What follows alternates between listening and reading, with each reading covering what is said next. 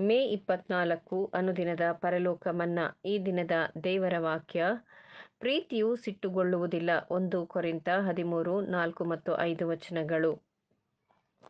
ಸ್ವಾಭಾವಿಕವಾಗಿ ನಾವು ಬಿದ್ದು ಹೋಗಿರುವುದರಿಂದ ಮತ್ತು ಅನುವಂಶಿಕತೆಯ ಪರಿಣಾಮವಾಗಿ ನಮ್ಮ ನರಗಳ ದೌರ್ಬಲ್ಯದಿಂದ ಸಿಡಿಮಿಡಿಗೊಳ್ಳುವುದು, ಬಾಯಿ ಬಿಟ್ಟು ಹೇಳದೇ ಇರುವುದು, ಮುಂಗೋಪ ಇವೆಲ್ಲವೂ ನಮ್ಮ ಶರೀರದಲ್ಲೇ ಉತ್ಪತ್ತಿಯಾಗಿ ನೆಲೆಗೊಂಡಿರುವುದರಿಂದ ಕರ್ತನ ಆತ್ಮವನ್ನು ಹೊಂದಿರುವ ನಾವು ಈ ಕೆಟ್ಟ ಪ್ರವೃತ್ತಿಯ ವಿರುದ್ಧ ಹೋರಾಟ ನಡೆಸಿ ಅವುಗಳನ್ನು ಅಡಗಿಸಬೇಕು. ಮತ್ತೊಂದು ರೀತಿಯಲ್ಲಿ ಸಾಮಾನ್ಯವಾಗಿ ನಮ್ಮದು ಇದೇ ದಾರಿ ಎಂದು ಹೇಳುವುದುಂಟು. ಆದರೆ, ಬಿದ್ದು ಹೋಗಿರುವ ನಮ್ಮಲ್ಲಿ ಕೆಟ್ಟದ್ದೇ ವಾಸವಾಗಿರುವುದರಿಂದ ನೂತನ ಸೃಷ್ಟಿಗಳಾಗಿರುವವರು ಈ ಹಳೆಯ ಶರೀರದ ಸ್ವಭಾವವನ್ನು ಮತ್ತು ಸಂಬಂಧಿಸಿದ ಇತರೆ ಗುಣಗಳನ್ನು ಹಾಗೂ ಸೈತಾನನ ವಿರುದ್ಧವೂ ಹೋರಾಟ ಮಾಡಿ ಜಯಗಳಿಸುತ್ತಾರೆ.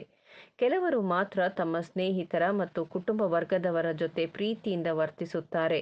ಈ ಗುಣವನ್ನು ದೇವರ ಮಕ್ಕಳಾಗಿರುವವರು ದಿನೇ ದಿನೇ ಅಭಿವೃದ್ಧಿಪಡಿಸಿಕೊಂಡು ಸಾಧು ಸ್ವಭಾವದವರಾಗಬೇಕು.